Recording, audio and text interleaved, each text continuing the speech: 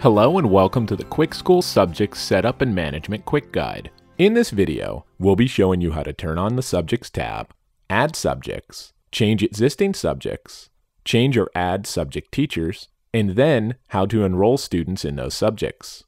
The Subjects tab is made available when you turn on a feature that requires it, such as the homework or the report cards gradebook feature on either the Apollo or the Athena plan. Simply go to the Features tab, and check any of the checkboxes to turn on any of the features. Once you've turned on the required features, you'll see the Subjects tab now appears in the menu bar. There are three sections in the Subject screen, Subject Setup, Subject Enrollment, and Global Subject Setup. You will only see this third menu option if you have administrator privileges. Teachers and staff members will only see the Subject Setup and Subject Enrollment menus. Let's take a look at the subject setup section first. Here you'll find a list of the subjects that you teach. Depending on the level of access you've been granted, you may be able to manage other teachers' subjects, and you can do this by selecting the teacher from this drop-down menu. To add a new subject, you'll need to enter the subject's name, an abbreviation for the subject, and which grades you'll be teaching the subject for. Once you've finished filling out the subject's information, click Add Subject. Your new subject is now added to your subjects list. The subjects are displayed by grade, subject, abbreviation, and by the number of students currently enrolled. Right now, we can only see 10 rows of subjects per page, which is the default view. Since you have more subjects than can fit on one page, QuickSchools divides them into separate pages. To navigate between pages, just click which page you'd like to go to. To change the number of rows that can be displayed on each page, click the gear icon in the bottom left. You can choose how many rows you'd like to display, from 10 to 100, to any number you choose.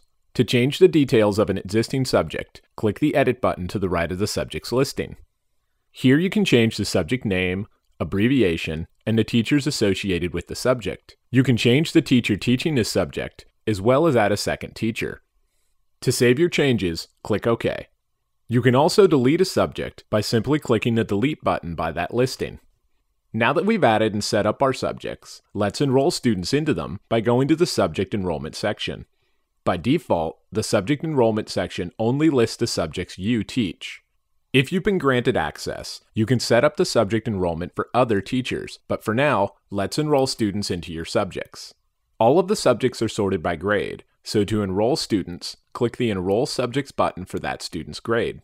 A list of all the students in that grade will appear. The students who are currently enrolled in a subject will already have a check mark by their name. To enroll a new student, just click their checkbox. You also have the option to enroll all the students in the grade at once by clicking the checkbox under the subject abbreviation. But what if you want to enroll a student that's not in the current grade you're working in?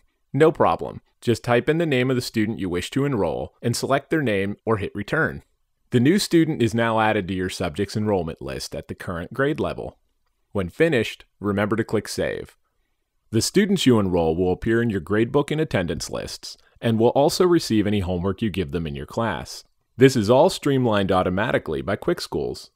We hope you enjoyed this chapter of our quick guide. If you have any questions or concerns, please contact us by either using the live chat bubble in the bottom right of your screen or emailing us at support at quickschools.com.